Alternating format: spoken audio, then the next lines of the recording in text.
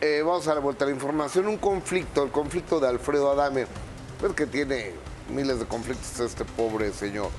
Este, y lo hemos visto miles de veces hablar en contra del cazafantasmas, que se insultan, que se van a pelear, que hacen públicos sus teléfonos y que este, la otra vez la pelea se iba a dar, entonces como la aventura botellita de agua eh, en la cara, este, ya, ya tenía siete capas de profundidad con una botellita de ese tamaño. ¿eh? Se Entonces el, pelea, el luchador profesional Alberto del Río tiene otros datos. ¿De qué se trata?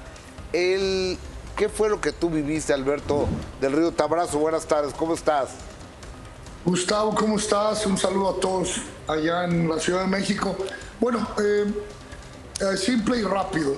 Yo, yo sé que esto es algo que, que creó mucho interés dentro del público. Siempre lo dije, esto pudo haber sido un impacto tremendo, mediático, eh, social y económico. Y yo como empresario, especialmente de eventos de, contacto, lucha libre, artes marciales. Mm, Oye, te, refieres... Eh, Alberto nos referimos a la pelea entre Adame y el cazafantasmas, ¿no? Eh, la pelea sí, efectivamente, la pelea entre, entre Adame y Carlos Trejo. Yo de hecho estaba comiendo con Carlos Trejo el día del, del incidente de, de, Adame en la calle con la señora y el, el, señor y todos los que se vieron involucrados. Y de pronto, bueno, dije, pues a lo mejor es el momento en el que se puede retomar esa idea que ustedes tenían. Yo también pensando en que, bueno, seguramente Alfredo iba a estar un poquito golpeado de la economía, porque después de un escándalo de este tipo, pues uh, muchas veces no se sale bien librado las cuestiones laborales. Eh, vi una oportunidad para hacer algo, lo empecé a hablar con la gente adecuada, especialmente en Monterrey, donde tengo mi segunda residencia. Ahorita estoy en San Antonio, Texas, pero, pero estoy haciendo muchos negocios allá en Monterrey.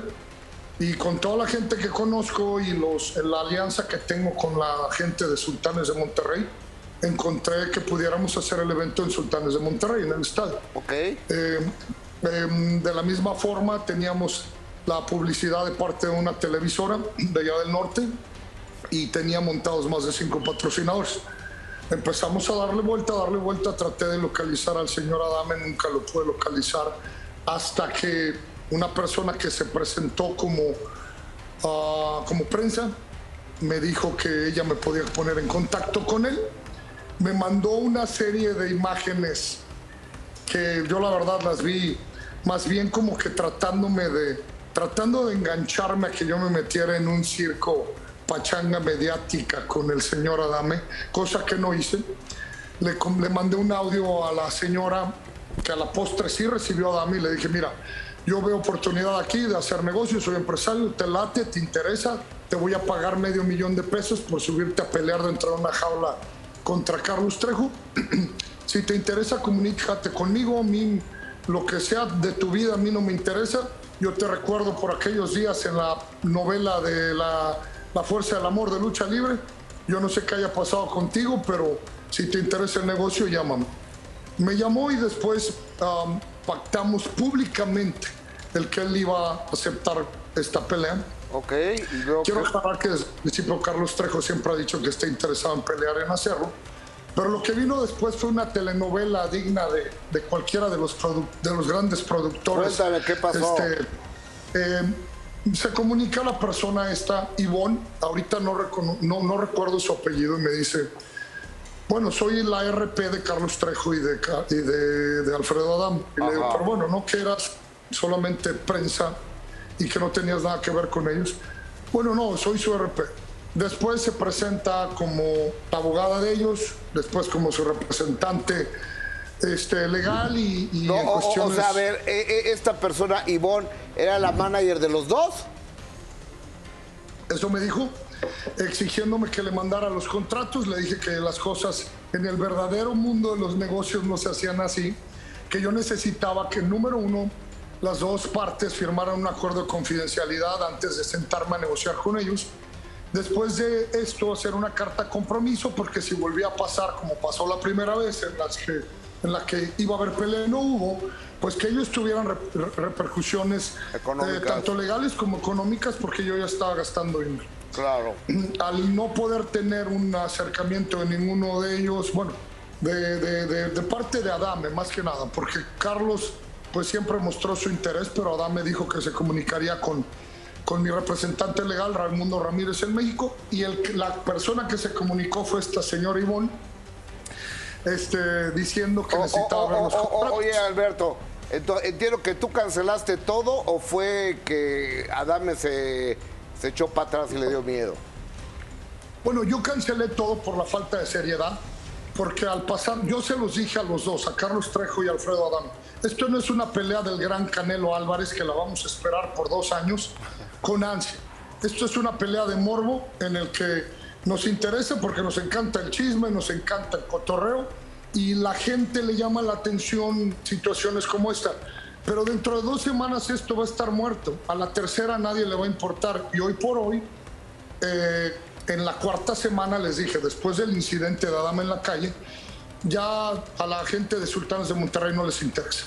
Se me echaron para atrás tres patrocinadores, también la, la empresa, eh, la televisora del norte ya no le interesó y les dije, señores, yo no voy a absorber el impacto económico que esto llevaría eh, completamente solo. Ustedes tuvieron la charola de plata ahí puesta y solamente se dedicaron a ir a 250 programas. Oye, amigo, a ver, ¿estarán de acuerdo Trejo y Adame o qué? Mira, yo, muchísima gente, incluido mi padre, que tiene muchísimos años dentro del negocio del espectáculo, él me decía que, eh, que él estaba completamente convencido de que esto era solamente un ardid publicitario para mantenerse dentro del, del ojo del huracán, dentro del, con presencia ante los medios y las cámaras. Yo, yo no te puedo asegurar lo que sí te puedo asegurar, porque lo tengo eh, los textos y yo personalmente hablé con esta señora Ivonne, que incluso habló con mi abogado. A ver, Ivonne, este, déjame buscar el nombre. Ajá. Sí, Síguele, síguele, síguele. que se presentó como, primero como abogada y luego como representante de Ivonne ambos. Villaseñor. Ivonne Villaseñor. Ok. Ivonne Villaseñor, yo ya después le dije a la señorita Ivonne, señorita, discúlpeme, con todo respeto le voy a decir esto, en un lapso de dos semanas usted me ha mentido cinco veces. Se ha presentado con cinco títulos diferentes y yo la verdad no hago negocios de esta forma. Claro. No le puedo entregar los contratos, si son sus representados, mándemelos a la oficina de Raimundo, que me firmen los, los ah, diversos acuerdos y mire, yo vuelvo a revivir esto. Es que sí está muy raro que la misma representante de Carlos Trejo sea la misma representante de Adame. O sea, ¿dónde está la seriedad, no? Sí, no hay seriedad y en realidad este, yo, tengo, yo tengo una amistad con Carlos Trejo y de hecho yo, por, por cortesía y por, por respeto a nuestra amistad, yo hablé con él y le dije, yo hago las cosas como las hacemos los caballeros. Te estoy dando esta llamada para que Claro. sepas que yo voy a deslindarme completamente del acuerdo que había hecho con ustedes porque Ok. ya a nadie le interesa. Y Claro. yo soy un empresario que juego con juego y trabajo con el dinero que le pertenece a mis tres ángeles que están allá arriba. Claro. Pero si no hay, si no hay Trejo para pelear, no hay pelea. Si no hay Adame para pelear, no hay pelea. Claro. Y ninguno de los dos veo que tengan dicho interés más que de quererme mandar a diversos lugares a hablar con diversas personas, Claro. pero con cámaras en todos lados. Querían mandarme con 24 o 25 No, cámaras. no. Le dije, señores, Eh, es de- esta, telenovela que ustedes traen es de ustedes, no es Claro. su servidor. Gracias, querido amigo Alberto del Río. Un abrazo hasta San Antonio, Texas. Buenas tardes. Gustavo, todos, buenas tardes, que Dios los bendiga. Hasta luego, señor. Gracias, mi amado. Gracias. Eh, pues raro, ¿no? El asunto. Ivonne Villaseñor, que sí, sí cuadra fechas, la conozco, en la industria la conocemos. Pero ¿La que los ¿Para los dos. dos? Pero que maneja los dos. pues Sí, podría no, no, prestarse no. mucho Sí. interpretación de que siempre ha sido arreglado. A ver si, si Trejo nos contesta para que nos explique, ¿no?